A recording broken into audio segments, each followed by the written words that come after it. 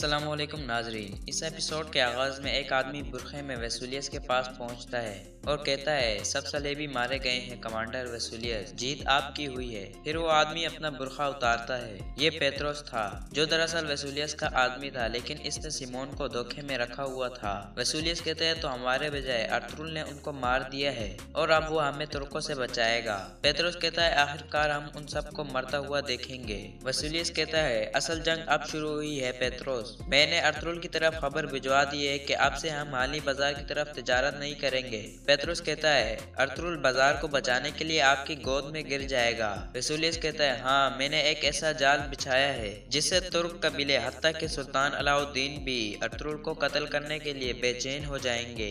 सिर्फ़ देखो और इंतज़ार करो। दूसरी तरफ़ आलिक को हकीम आलतुक को बताता है कि कारा जैसर के गवर्नर की तरफ़ से खबर आई है। इन्होंने बाज़ार के साथ तमाम तजारत रोक दी है। इतने में उराल भी वहाँ पहुँच जाता है और ये बात सुनकर खुश हो जाता है। अंदर अर्तुल के पास दो ताजिर खड़े हुए थे। एक ताजिर कहता है, हमें आप पर एतमाद है अर्थरुल आपने कभी भी हमें मायूस नहीं किया। इतने में उराल और बातु खान अंदर दाखिल होते हैं। अर्तुल उन ताजिरों को कहता है, ये जो डाकू बाहर घूम रहे हैं, अब वक्त आ गया है कि उनके सरबरा को पकड़े।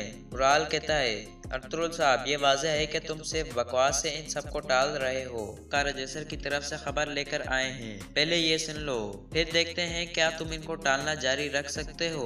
फिर हकीम आर्तुक अर्थरुल को बताता है कि कारा जैसर के गवर्नर ने आज से आनी बाज़ार के साथ तिजारत रोक दी है। ये सुनकर एक ताजिर अर्थरुल के सामने आकर कहता है, अब आप क्या करोगे अर्थरुल साहब? पहले तो चंद डाकू थे और अब कारा जैसर का गवर्नर है। जब तक ये बाज़ार आपके कंट्रोल में है, वो हमारी ज़िंदगी मुश्किल बना देंगे। एक एक का ताजिर बाहर निकल जाते हैं। फिर उराल अर्तुल के सामने खड़ा होकर मुस्कुराने लगता है। दूसरी तरफ़ चौलपान हलीमा को कहती है, अर्तुल की वजह से बाज़ार तबाह हो रहा है और लोगों का रिस्क छिन रहा है। ये सुनकर हलीमा गुस्से में आ जाती है और इस पर हाथ उठाने की कोशिश करती है। असलियान इसका हाथ पकड़ लेती है। इसी दौरान हाइमा खातून वहाँ आ जाती है और मामला रफा दफ़ा करा देती है। फिर चौलपान हाइमा खातून को कहती हैं कि कारा जैसर के गवर्नर ने हाली बाज़ार के साथ तजारत रोक दी है। अब आपके बेटे की वजह से तमाम तुर्क कबीले मुतासर हो गए। दूसरी तरफ़ उराल कहता है, सुलेमान शाह के बेटे अर्थरुल, क्या हुआ? अब तुम क्या करोगे? बताओ मुझे, तुम क्या समझते थे कि सारा इल्ज़ाम डाकुओं पर लगाकर खुद को बचा लोगे? अर्थरुल कहता है, शैतान अपना घोंसला इंसान के दिल में बनाता है और खास तौर पर इन इंसानों के दिलों में जो लालच की वजह से जल जाते हैं। और इससे मुझे जरा बराबर भी शक नहीं है कि वो कौन है। उराल कहता है, पहलियों में बात मत करो, अर्थरुल। जो भी बात है, वो मर्दों की तरह करो। अर्थरुल कहता है कुस्तुनतुनिया जाने वाली मेरी कालीने जला दी गई थी, और मेरे आदमी मारे गए थे। कारा कोंगलोस और फ्रांसिस्को ने हम पर हमला किया।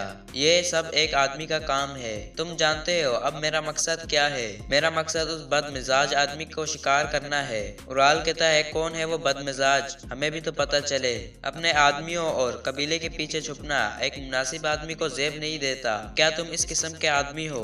ये सुनकर अर्तुल इसके मुँह पर एक जोरदार मुक्का मार देता है उराल नीचे गिर जाता है। बातुहान आगे आने की कोशिश करता है, लेकिन बमसी इसको पकड़ लेता है उराल उठकर अर्तुल पर हमला कर देता है। लेकिन अर्तुल उसे एक और मुक्का मार देता है, फिर उराल अपनी तलवार निकाल लेता है और लड़ाई शुरू हो जाती है।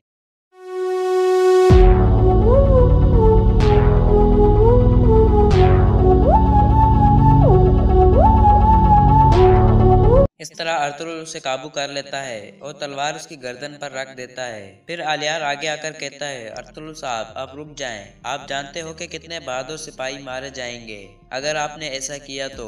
अर्तुल कहता है, चाहे वो किसी भी कबीले में पना ले ले, मैं उसे नहीं छोड़ूँगा। मैं तब तक आराम से नहीं बैठूँगा जब तक कि मैं उनके खेमे ना जला दूँ, जिन्होंने मेरी बीवी और बच्चे को नुकसान पहुँचाने की ज़रूरत की थी और जिन्होंने अपनी नज़र बाज़ार पर रखी हुई है। फिर अर्तुल अपनी तलवार इसकी गर्दन से उठा लेता है। उराल खड़ा होकर कहता है, अपने वसवसों के साथ तुम भी जलकर राख हो जाओगे अतरुल तुम्हारे इल्ज़ाम तुम्हारा खात्मा होंगे। फिर आलियार कहता है, भाई, बहुत हो गया। फिर उराल अपनी तलवार म्यान में डालता है और अपनी टोपी उठाकर अर्तुल की तरफ़ देखता है। अर्तुल इसकी हालत पर देखकर हल्का सा मुस्कुराता है। फिर उराल बाहर निकल जाता है। इसके बाद उराल अपनी दुकान में चला जाता है।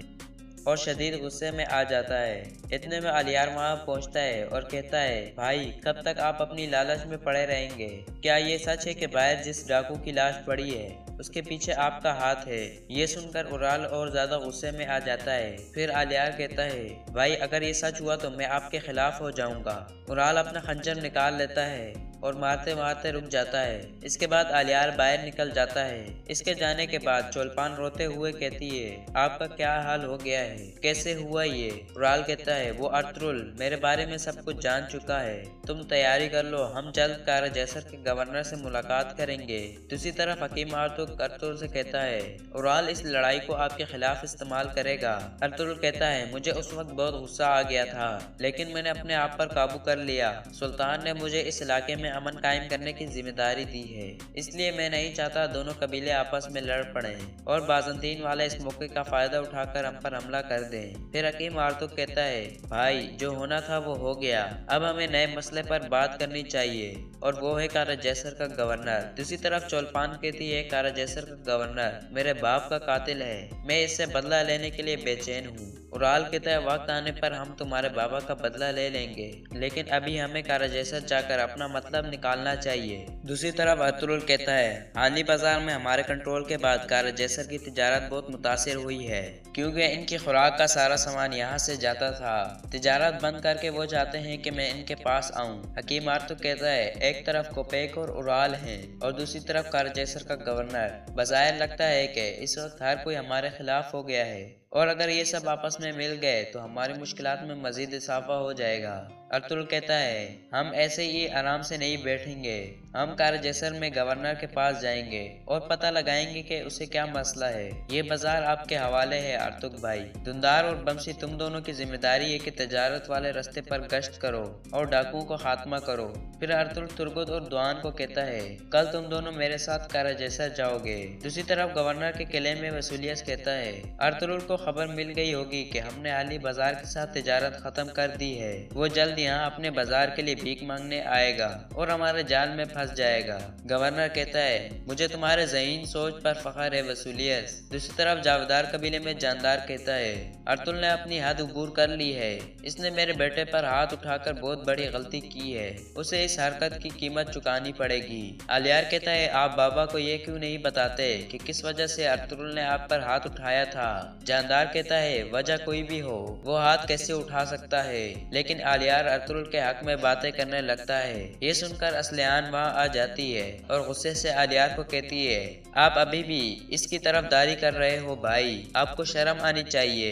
ये सुनकर आलियार बहुत दुखी हो जाता है और कहता है, असलियान, आप भी ये कहकर वो बाहर निकल जाता है। इसके जाने के बाद उराल कहता है, मैं और चौलपान जल्द कार जैसर के गवर्नर के पास जाएँगे और इससे कहेंगे कि वो हमारे साथ बरह रास्त तजारत करें। इस बात पर सरदार जानदार रजामंद हो जाते हैं।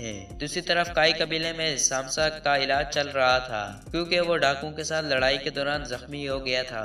सब इसकी हौसला अफजाई करते हैं। इस दौरान तुर्गोत हाजतुरियान को कहता है, अब आर्जी तौर पर कान में काम रोक दिया जाएगा, क्योंकि इसके लिए हम अपने सिपाहियों की जाने जाया नहीं कर सकते। दूसरी तरफ़ उराल और चोलपान काराजेसर के किले में दाखिल हो जाते हैं। गवर्नर कहता है, खुश आमदीद मेरी कज़न कैतरीना चोलपान कहती है, मेरा नाम अब चोलपान है अमीर हज़रत। उराल कहता है हम माली बाज़ार के हवाले से बात करने आए हैं। गवर्नर कहता है, अभी आप आराम कर लें। शाम के खाने में तफसील से इस पर बात करेंगे। दूसरी तरफ़ जावदार कबीले में असलियान कहती है, बाबा हलीमा ने मुझे परेशान कर दिया है। मुझे कुछ समझ नहीं आ रही मैं क्या करूँ? जानदार कहता है, बेटी, तुम परेशान मत हो। वो सब जल्द अपने अंजाम को पहुँच जाएँगे। मैं इनका नामो निशान मिटा दूँगा। वो खुद यहाँ आकर तुमसे माफ़ी मांगेंगे, वरना इन्हें अपनी कोई और जगह तलाश करनी होगी। और यहाँ इस एपिसोड का अख्ताम हो जाता।